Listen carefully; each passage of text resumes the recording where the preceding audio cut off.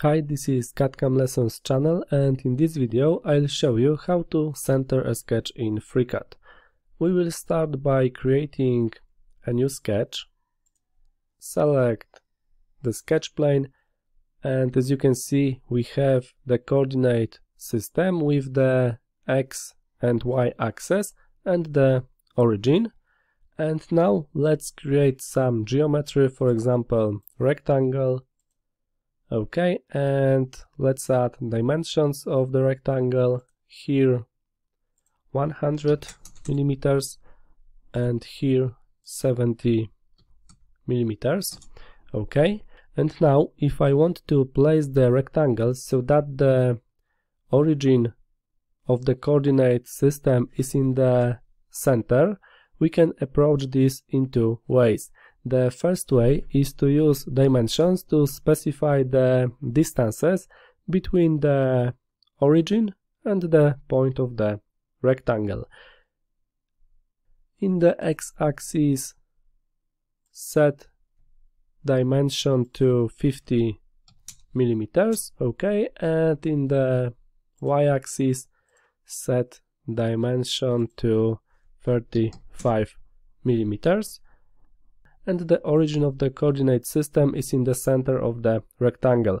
However, this method isn't a good method because if we change the dimension of the rectangle, for example, I'll change this dimension to 150 millimeters, the edge of the rectangle will still be offset by 50 millimeters from the origin, which may not be what we want.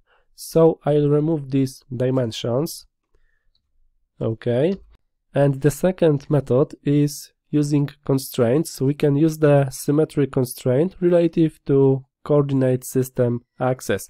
We can add a symmetry constraint between these two points and relative to the y-axis.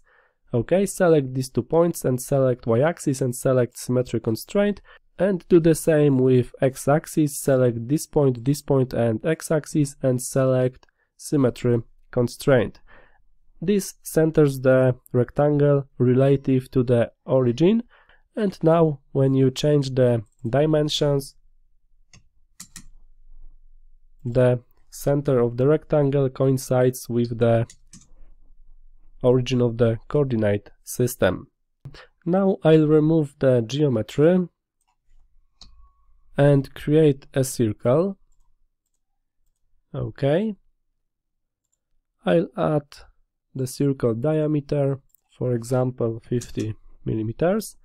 And now this sketch isn't centered and in this case we can simply constrain the center of the circle with the origin of the coordinate system. To do this, select this point, this point and select constrain coincident. Okay, and now the origin of the coordinate system coincide with center of the circle. Okay, I'll remove the circle and draw another rectangle. Okay, and add dimensions as before.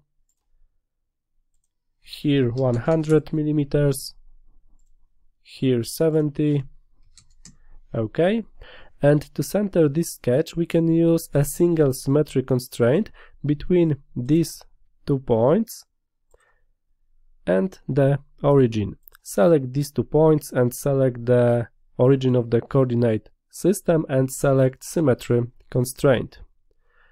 Okay, now I'll delete this constraint, select this constraint.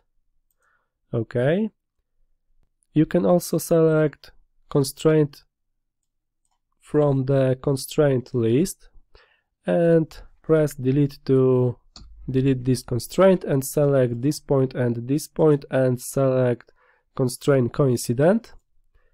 To place the rectangle's corner at the origin, close the sketch and add an extrusion.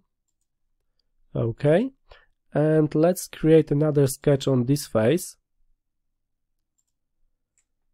Draw a circle, okay, and add its diameter, for example 50 millimeters. okay and to center the circle on the rectangle we need reference geometry from the edges select create external geometry and select this line as the reference geometry and now you can use these two points to place the center of the circle in the center of the rectangle. Select these two points, select this point and select symmetry constraint and now the center of the circle coincide with the center of the rectangle. Okay, I'll delete this circle, select this circle and press delete key. Okay, and let's draw another rectangle. Okay, let's add dimensions. Here 60 millimeters and here 30 millimeters. Okay. And to center this sketch we can use dimensions and we can specify the distance from this point to this point in the x-axis and in the y-axis. But this is not practical. So in this case we will use constraints let's create an additional point select this command and create point more or less here. Okay. Here let's create reference geometry. Okay. And select this point this point and this point and select constraint symmetrical to place this point in the middle of this rectangle. And now we can use this point to place this rectangle in the middle of this solid select this point, this point and this point and select symmetry constraint and now this rectangle, this sketch is in the center of this solid. The other way to place this rectangle in the center of this solid is to use construction geometries. I'll delete this point and this constraint and now I can move this rectangle and to place this rectangle in the middle of this solid I can use construction geometries. Let's create two lines like this. Okay, select these two lines and select toggle construction geometry to switch these lines to construction geometry and now select this point, this point and this line and select symmetry constraint to place this line in the middle of this rectangle in the x-axis and do the same with the other line. Select this point this point and this line and select symmetry constraint to place this line in the middle of this solid in the y-axis. And now you can use this line to place this rectangle in the middle of this solid.